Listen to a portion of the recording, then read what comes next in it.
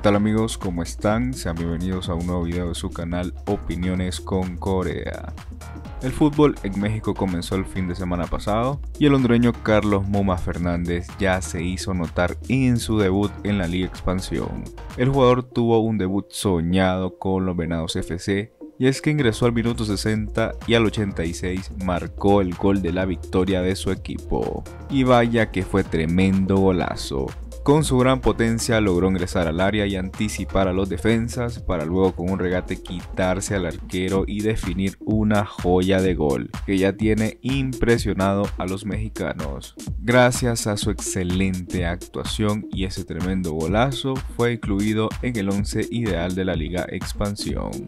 En la lista tenemos a Andrés Gudiño, el arquero del Cruz Azul y en la línea defensiva encontramos a Ricardo Peña, Antonio Portales, Axel Guijalba y Ulises Zurita. Mientras que en los volantes destaca el hondureño Lamuma Fernández, el único jugador de Venados FC junto a Jesús Vázquez y Jacobo Reyes. En el ataque están José Zúñiga, Pablo Rizar y Gael Acosta. El hondureño llegó con todas las ganas a México, una lástima que Motagua no pudo consolidarse en la titularidad ni pudo explotar todo su potencial, solamente fue en los primeros encuentros y ahí fue de más a menos. El jugador en una entrevista con el diario Medio Tiempo habló sobre la oportunidad de jugar en la Liga Expansión y lo que espera para su futuro. En Venados desde el momento que me vieron les interesé mucho y comenzamos las negociaciones para estar acá.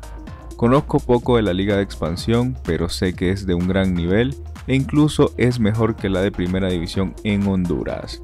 Es lamentable que no exista el ascenso y descenso, pero sé que si hago un buen torneo puedo llegar a tener buenas oportunidades, dijo la MoMA. Y bueno amigos, ¿ustedes qué opinan del debut de la MUMA con Venados FC? Comenten y recuerden suscribirse a mi canal. Comparte este contenido con tus amigos para que estén informados de lo que acontece en el fútbol de la región.